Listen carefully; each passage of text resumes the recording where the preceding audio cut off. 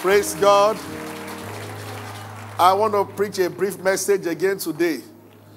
Hopefully, it will be brief indeed. Psalm 34, verse 7. My voice is better now. It was steady before service. And I look a little more, I, look, I look stronger now. That first service, I look like somebody about to fall asleep any moment from. My son said, You are looking, he said, you, Why don't you asleep? Hallelujah. The angel of the Lord encamp around them that fear him and does what? I want to talk about the deliverance ministry of angels. They bring message, they deliver. And I want to focus on just check a few examples in the Bible. When we say God will make a way, he may, one of the ways through God makes a way is to send an angel ahead of you. And I want to tell you about what to also be careful of because they can block ways also. This why it's important that you must be in alignment with God's plan and purpose for your life. Hallelujah. Amen. Daniel 6 22. Can I have your seat? So let me not keep us standing for you. Daniel 6, verse 22. You know, when Daniel was put in the den of lions, Daniel said this. I, at the end of the day, I will say what you have to do, which is very simple. Last week I spoke about the word to speak. I'm talking a bit about prayer also.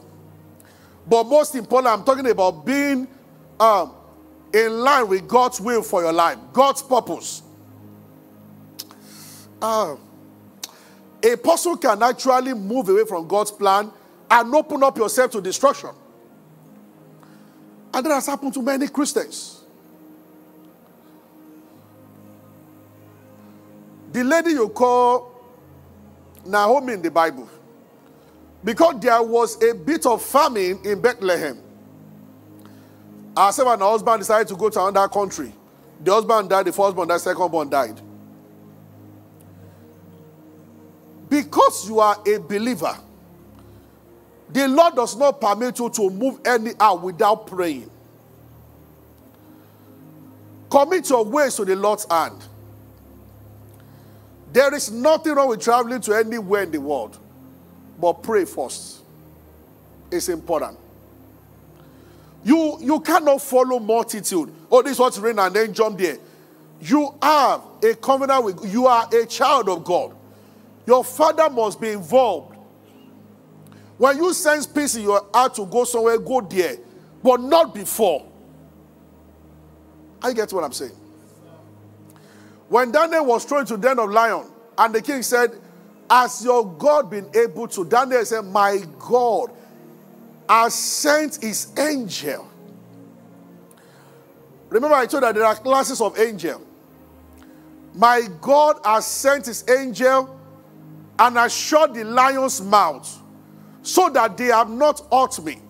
So, on the outside, people saw that lions refused to eat Daniel. But Daniel gave an explanation. Whether he saw the angel or not, we don't know. But Daniel was so certain that before he landed in the den of the lion, God sent his angel to shut their mouth. That's why they can't hurt me.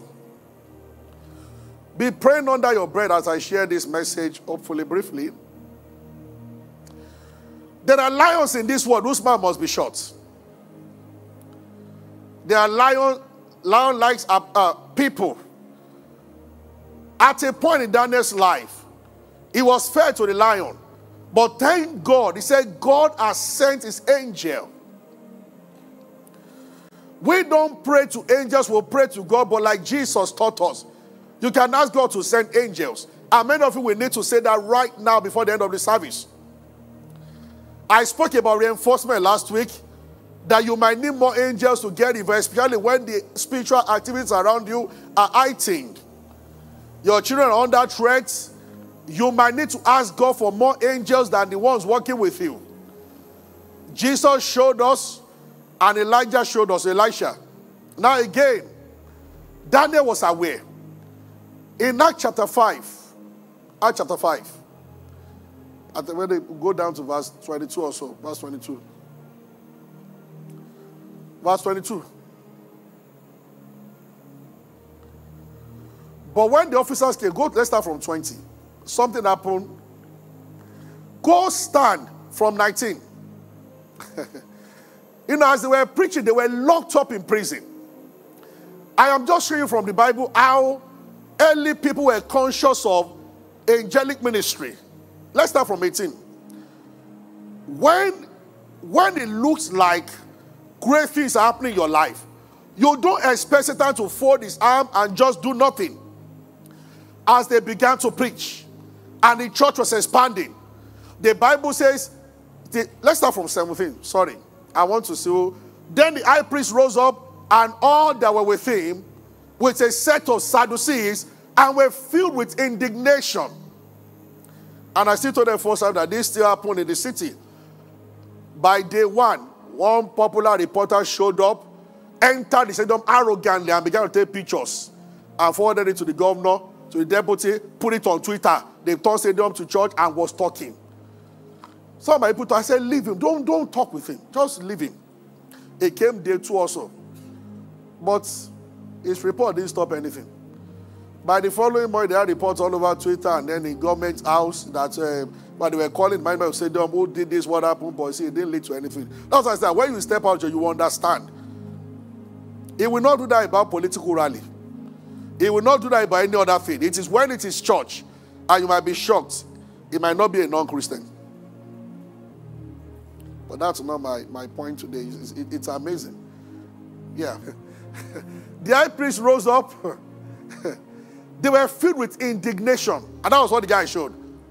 In the of, wow, this is not the period. And then by the following morning, it was all over top offices. But see, none of them answered him. They got the message. They saw it on their phones. They forwarded it to the management of the stadium, but nobody did anything about what he said. He came back the day two again, the following day. and one of the staff there just said that, but this guy has never shown up with all the rallies where they will sit and drive every stop on the stadium. Of the staff was saying, said, we are the ones who put, said, this guy's never. When it is church, suddenly they, re- and as some Christian join them, they want to talk. Eh, anyway, next verse 18 and lay hands on the apostles and put them in common prison. There are common prisons. At times, believers go to jail. There will be jail like situation from time to time. Now, we don't know the names of this apostle, but in chapter 12, Peter was arrested also and put in prison. You remember? Who appeared to Peter in the night? So now, they lay hands and put them in prison, verse 19. But the angel of the Lord by night. Who is this angel of the Lord? Remember, I said individuals have angels. Then there are angels in charge of family, probably every congregation. There is the angel of household of David. There is the angel of redeem. All of you have your guiding angel. When you come together under any umbrella, there is an angel in charge of that umbrella also. There must have been a there must be a particular angel in charge of Nigeria. And there's a demonic spirit also, the prince of Nigeria. Like the prince of Persia. That must be the class of wicked spirits, and that's where events are manipulated. Every office you are, there are angels assigned, and there are demons assigned, and it depends on who the owner of the office is will determine who is really in charge. But when you are there, say that's why you have to intercede. Because that is the only way you can gain control. Working under somebody with something that does not belong to you. Yet the decision will affect you. You better be a person of prayer. I get what I'm saying. But that's the only way you get God involved and you give angels access. Because in the spirit, boundaries are respected. When a man says, I'm an occultic, I don't want God, when he builds it out, demons will supervise the house. And they can torment a saint that lives there who is ignorant of his right in Christ. Yes, there can be from miscarriage to things. People pack into houses. See, this is why third service I'm talking about. You, you can't live without letting the Spirit of God guide you. If God opens your eyes, the first thing you will know is that you cannot live anyhow as a Christian. I've been saying that to people. I love this house. I just just parking. I love this car. No. In all your ways, acknowledge him. He must order your steps. Satan will take full advantage of anything you do outside God's plan for your life. It will take full advantage. The higher you rise in ministry, ask all men of God. Don't see what's still saying this? The more you ask God, where do you want me to go to? Travel to a place is not sending you. Why, yeah? God will protect your life depending on, but they do that's why you will know that these things are real. All the hatred he has for you, he will utilize them very quickly when you're outside God's will. I dare not go to where God is not saying. With all this, how I pray for people speak against demons, I will not. I know enough to know that you don't play it. Let Bible says let Satan take advantage of us. So there's a way you can give him an advantage, give him upper hand by yourself. And believe me, certainly, if there is anybody, if there is any opportunity, Satan is one. You give him upper hand, ask David. The series of events that will follow before God saves you. Hallelujah. Once you give a little hole like this, it takes full advantage of it.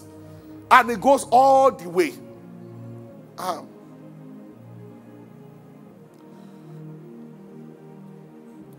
Hallelujah. No matter any venue they show me, I come back to office and start praying that Lord, is that where you want us to? Because I understand the wickedness of Satan. Our safety. Because your angel will just be watching once you're in the place of disobedience. And I'll show you one fellow in the Bible right now, or one or two. You know, when I said David, we thought about Bathsheba, there is something bigger than Bathsheba that, that I will show you. I get what I'm saying. Praise the Lord. Hallelujah. Angels, so they were locked in prison, and the angel opened the door. It's as if opening prison door is child's play to an angel. He said, Go and continue preaching. And the Bible says, when the officials got there, said the men were locked in. They met the prison locked, but they found nobody inside. When it got to Acts chapter 12, Peter was lying down bound. I don't know as I speak. Somebody here and somebody watching, you will experience deliverance by the ministry of an angel today. Amen. Peter was sleeping. The angel tapped Peter. I said, Rise. The Bible says Peter thought it was a dream. Let's start from when he appeared, life filled the prison. That must be an angel of a great authority. The angel of the Lord. That's the name they've been calling this particular angel. Who appeared to Moses in the burning bush. All angels in the Bible refuse worship except the one that is called the angel of the Lord. When the bush was burning, he told Moses, Remove your shoe. And Moses bowed, and the angel did not say, Don't bow. But no other angel asked able to remove that shoe except this angel of the Lord. It was one that appeared to Joshua also in Joshua chapter 5. As they were about to enter Jericho, he was the one that led this call. He said, I am the commander of the Lord's army. Some have said it was the Holy Spirit. The guy that wrote Angel of Simon said that the guy appeared to me and called his name is Kiron, the or Sironi or something like that. I don't know. I don't go into debates. But I stay with what the Bible says. That Joshua saw a fellow standing.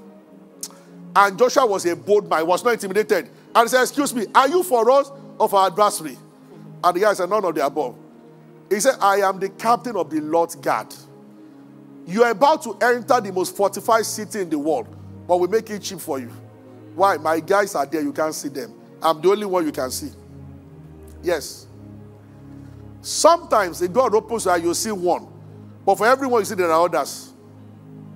And at times, seeing them is not important. Them doing their duty is what is important. So don't say, Lord, let me see an angel. You might see a demon. Somebody say, ah, it's true, it's true. because you can't go outside. But Bible didn't tell us to pray to see an angel. If one appears you'll fine. But I tell you the truth. If you see a real angel, you will shiver. It's not a very pleasant time. How many people have seen an angel here before? Not uh, in your dream or, or you saw something like it. So like you, you've seen an angel before, a real angel. You've seen one before, sir? Okay, who else has seen one angel before? Let me see your hand. Ah, God has to open people's eyes here.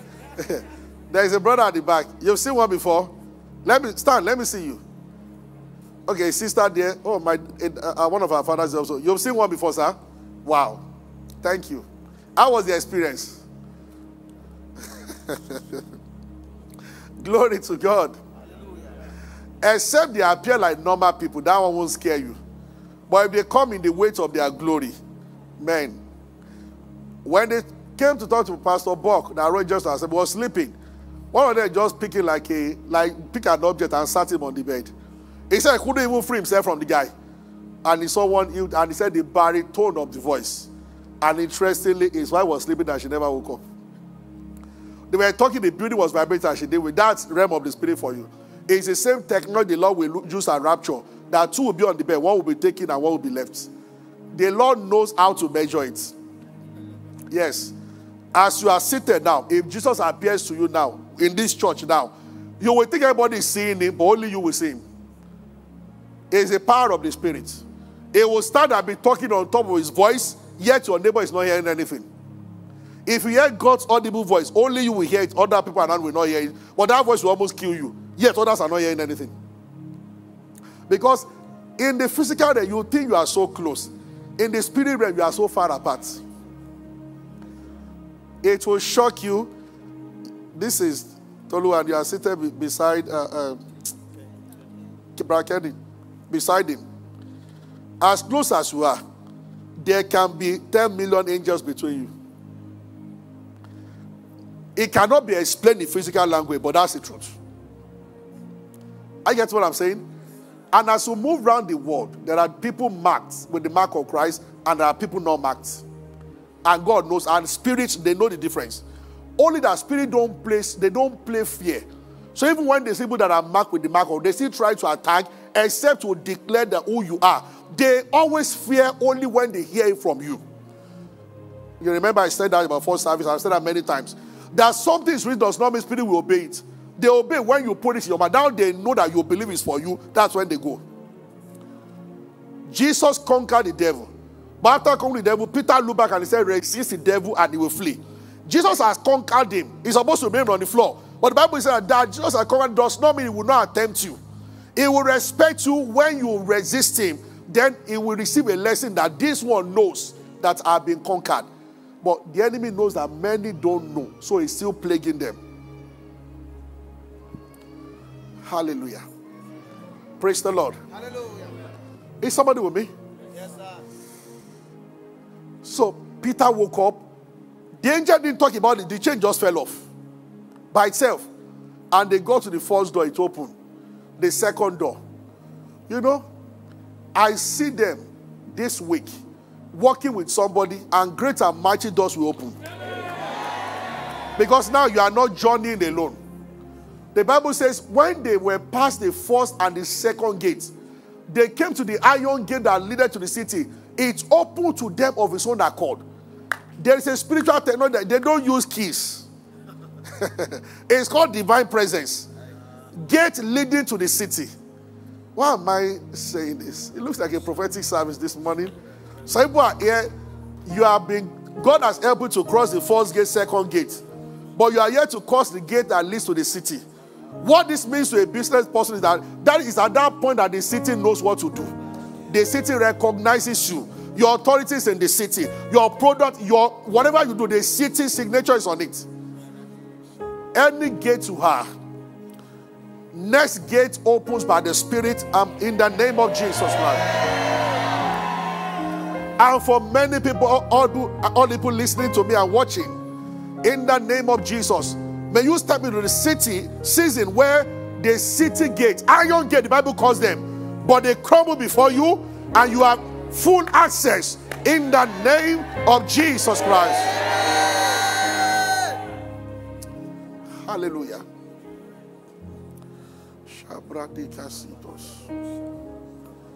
Ministry of angels. And you can go on and go and on like that in the Bible. But I want to show you the other side of it.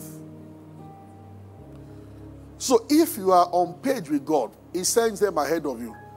But pray about it. Pray about them. pray that you can actually ask the Lord to send his angel ahead of you. You can make a special request intentionally. You can make a request deliberately and ask God to send an angel. Don't just leave, ask for them. Jesus said that I could have asked for 12 legions, but because I'm supposed to die, that's. But you are not supposed to die. So you should ask. In other words, Jesus was saying that if not that I plan to go to the cross, I see this host, I would have asked for an angel to finish all of you. He said, But this is why I'm here to die. Or are you here to die also? If you are not to, you have better ask for angels. Ask God to reinforce, send more, and you will see more job getting done. Hallelujah. Praise the Lord. I'll just show you two people. You know a man called Balaam in Numbers 22.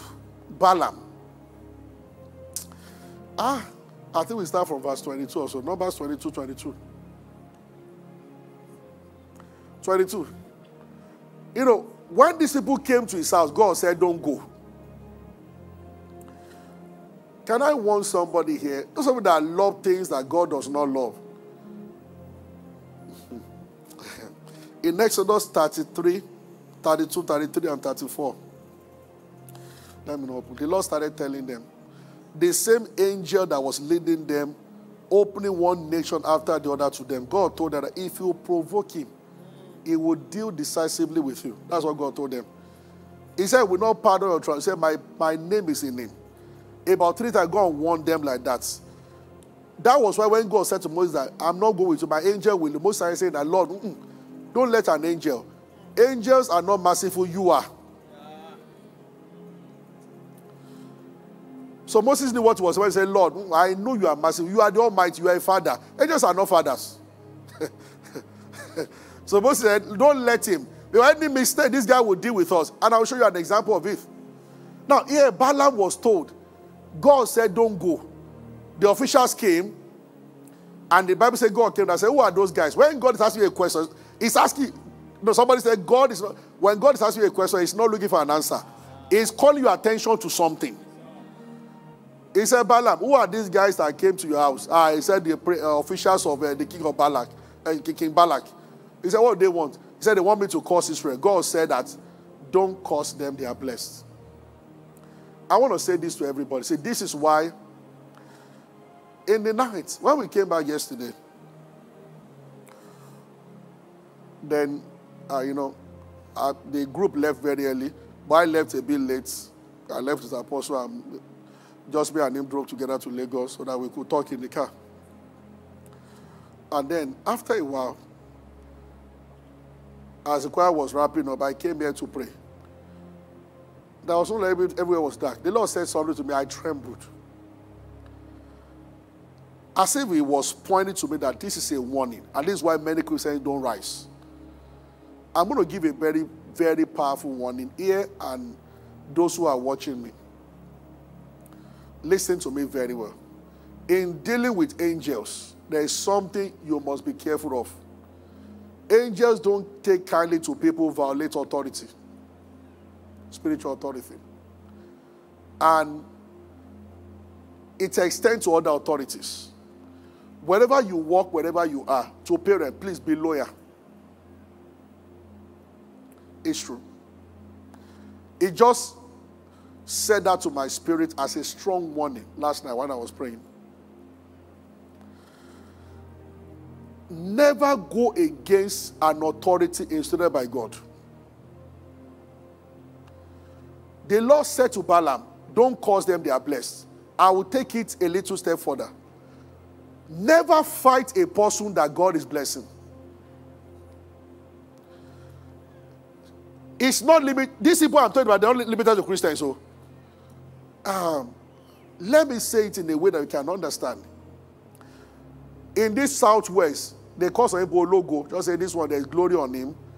It is true that some people, the hand of God is just special on them, not only Christians. Number one, if you fight them, you won't stop them from getting to where they are going, but you will destroy yourself in the process. It is true. If in the choir God is raising somebody and you are the one fighting it? And I've seen too many like that. People have died and needless. I mean, it's painful. Once you see the favor and the hand of God upon somebody, it is none of your. Don't be the one trying to cut them into size and check the end of critics on social media. 10 years they can get by with it. People do always how it always ends. You get yourself a question, does it matter, does it concern you? So what does it concern does not concern you. You understand? You have enough things to face in your life. Some people are giving names on earth. Whether you like it or they will be popular, their names will ring bell. Please, always, please avoid talking about people. Like just leave them. You don't have to agree with them. You don't have to like them. You don't have to. But nothing will happen. To, nothing will happen to you if you don't cross their paths. If you try to stop them, you'll get into trouble. Balaam was carrying extraordinary anointing, but God said, I see, the people they are come and cause, they are blessed. Leave the matter alone. He said, okay. You know, devil doesn't give up on time. Then the prince, the King, King Balak said, really, the officials came back. Said what I said, Balak said should not come. He said, why? He said, God, his God said should not, he should not cost them. The guy doubled the money. Maybe when times 10. They asked him and do a work. Tell the I'm busy, I can't do it. So, okay, from 5 million to 50 million. All of a sudden, he said, I think I can. you know. Hallelujah. Amen. Glory to God. Somebody said to one pastor one day, he said he was very busy praying. I'm very busy. Somebody called us, Are you free? Can I see you today? He said, No, uh, not today. Very busy. I said, I won't be available. And I was, I was just thinking of bringing a, a million dollars to your house. Ah, so what did I say? No, that I will be available only to receive. if you promise yourself that you're not going to go out on a particular day, I want to spend time with your family, don't worry about it, I want to switch off your phone. And somebody says something to us, I say, you shouldn't come. I said, I'm actually coming with uh, uh, 250 million naira for you. What will be your answer? How many of you will still say, don't come? They say, I don't care. Today is today. Don't come. I'm busy. Or you adjust your schedule. say, don't mind me. Come. Hallelujah.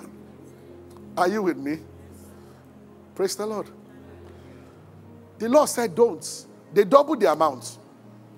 Eventually, show me that scripture. Balaam decided to go. And in verse 22, the Bible says God was angry that he left.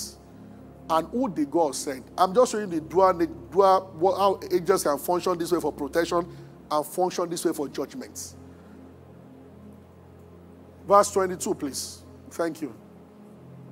And God's anger was kindled because he went, and the angel of the Lord again stood in the way for an adversary against him. Can these guys, do they work against people as much as they work for people? Yes. I showed you in prayer, Bible says, do not say for an angel that it was an error, lest it would destroy the works of your hand. And the angel stood on the way. He was going to kill him, but his donkey saved him. And he beat the donkey over and over again. Donkey said, ah. Next verse. Verse 23. Please be fast, I want to end. The ass saw the angel stand in the way with a sword drawn in his hand. And the ass turned aside of the way and went to the field. And Balaam smote the ass to turn, and he was beating the innocent animal. Not that the animal was trying to save his life. Sometimes you fight things that are trying to save you. You know, your car can break down 30 minutes to an accident. And you kick the car. And the car is trying to say that, Madam, ah, see, you know, like she. But you don't know. Or one police just stop you and ask for receipt to your wristwatch. After you have shown him everything, he just delay you there. You don't know. That's the Bible say, count it all joy. You remember the plane that crashed in Nigeria one time of some gen- some young soldiers who just finished from that somebody thought they were a threat to him and crashed all of them. The only guy that said that survived, he came down from the plane for a senior officer. Yes. He was inside. Then somebody arrived and they said that no, no space again. And the next plane might be the following day. And he just said, really, ah, that, that guy trained man. He came down, that please you enter. He did not know that he came from death to life. Are you with me? Yes, sir. Eventually, let me end this whole story. The ass kept seeing the angel. Then God opened the mouth of the ashram and he said that, can't you see? Then the angel told Balaam, honestly speaking, if not for your animal, I would have killed you. You are God's prophet. We respect you, but you are moving against God's will, you will die. But I want to read, end with 1 Samuel 24. And I'll end there. A man after God's heart. You know, at times, some losses and some setbacks are not from Satan. No. Satan you can bind, God you cannot bind. I don't know why this part is part of this message. To one, stay away from things that does things that don't glorify God. I am asking you as a church. The Lord didn't pinpoint anybody, but I didn't mention any issue. Whatever comes to your mind that you know, don't give Satan an opportunity to enter into your game and start distorting things. Second Samuel 24. Thank you. Is somebody with me? Is somebody blessed? Remember, doors are opening this week. The angel of the Lord said, Go number. David decided to number them contrary to God's plan. Go down to, I don't know which verse now, where the angel spread his sword over Jerusalem. Let's start from verse 10, or, or don't start from verse 22. Verse 22. Start from 21 or 20. Uh, start from 14. David spoke to the Lord when he saw the angel that smote the people. These were God's people. And David said, I have sinned. I have done wickedly. But these sheep, what have they done? It's good to have a pastor like David. He was one that sinned. The people were the one point. Nobody died in his own house. But David said, Lord, ah, ah, I was the one that sinned. Why, why killing all these people? If anybody should die, it should be me. I pray the let your hand be against me and against my father's house. When you begin to hear of God having extra love for David, this is the reason. A selfless person. He saw members of church die. He said, Lord, no, let my family die. Let these people be okay. Most leaders will pray the opposite, especially African leaders. But David said, no. Imagine a man praying that, Lord, let them stop dying outside. Let us start dying in my own family. So because the, I, was, I was the problem. Now, next verse. Oh, and God came that day to David and said, Go up, rear an altar unto the Lord. I will talk about this another day. If you ever see a pattern that is destructive or some like negative pattern coming around, there's something you can do. And altar has to be raised quickly. That's why I'll be sharing about the blood. But there might be a step also you have to take on the ground of the blood. Remember, there are principles of God. God did not tell God anything. Here, at least. I don't know what happened. God, this story says God just told David, when they saw the sword passing, God just said, Come. If it is God, there's something you can do. Go and erect an altar. This show will stop right now. They saw the angel They said, Stop him there. There's a sacrifice that can stop destruction. So, next verse. David did according to the word of God, went up as the Lord commanded. Next verse. Araunah looked and saw the king and the servant coming. Next verse. Next verse. Next verse. Next verse. David, he refused to get it for free. Next verse. And I went there. He built an altar. So the Lord was entreated for the land, and the plague was stayed from Israel. Physically, the people were seeing plagues like Ebola. Everybody was just dying. But the few ones that God opened there, they saw that it was not plague. There was an angel with a sword. Every plague that has plagued humanity, maybe the angel called Abaddon, Apollyon, is behind it. Many destructions. In the spirit, it's a sword. In the physical, it becomes a plague. Especially anything that is killing huge number of people is being controlled somewhere. Hallelujah. But I just said to say that theologians have argued about that. Is this an angel of the Lord? The one that killed in Egypt was called angel of the Lord, was also called angel of destruction. Does he have some angels that destroy? We will not uh, answer that today. But one thing is certain. In all cases, they are both called angels. Angels. So when people veer up the right paths, there can be a problem. Those who are supposed to defend them at least can just stay their hand. And then you can be open and be exposed. Hallelujah. Amen. Is somebody with me? Yes, sir. But pay attention to the first one. Deliverance. So many people will be lifted this, this week. Amen. So many doors will open. Amen. In the name of Jesus Christ. If there's anybody in any kind of chain, by the ministry of an angel, the chain will fall off right now. Amen. Let's rise. Hello, thank you for watching us. We don't want this to end without giving you an opportunity to make Jesus Christ the Lord of your life. You know, um, after listening to God's word like this and you have never made Jesus Christ the Lord of your life, it's an opportunity to come to Him and it's a simple process because He has made all things available. I want to implore you now to give your heart to Christ. And by saying these words, because giving your heart to Christ must be done consciously, He has paid the price. Say after me, say, Lord Jesus, I come to you.